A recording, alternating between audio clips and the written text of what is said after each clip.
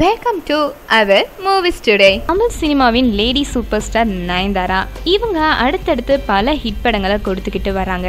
இந்த நிலையில சிரஞ்சீவி நடிப்புல தெலுங்குல ரீமேக்காக இருக்கும் கத்தி படத்துல நடிக்க இருப்பதா பல நாட்களுக்கு முன்னாடி செய்திகள் வந்த வண்ணமா இருந்துச்சு. இதுவரை சிரஞ்சீவியோட படம் குறித்து என்னிடம் யாரும் அணுகவில்லை. இது முற்றிலும் வதந்தியே அப்படின்னு சொல்லியிருக்காங்க. பாலகிருஷ்ணாவின் நூறாவது படத்தை மட்டுமே தற்போது நயன்தாரா நடிப்பதற்கு உறுதி செய்யப்பட்டிருப்பதாகவும் சொல்லப்படுது.